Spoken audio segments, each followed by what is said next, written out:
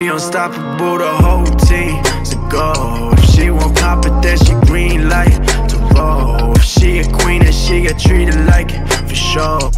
Alright, what's going on guys? Welcome back to the channel. Before we get into this video, quick little sponsor video, Vapor Fresh. Check them out. I got a link in the description below. Go check them out. Code Derek for 10% off. Let's get into the video, boys. We got game two. Let's go. Well, backs against the wall this evening here as we come to you live from the Northwell Health Ice Center, of the Al Arbour Rink. It is game two of the best of three series in the Atlantic Division. The PAL Junior Islanders have their backs against the wall as they dropped game one yesterday by the score of one to nothing.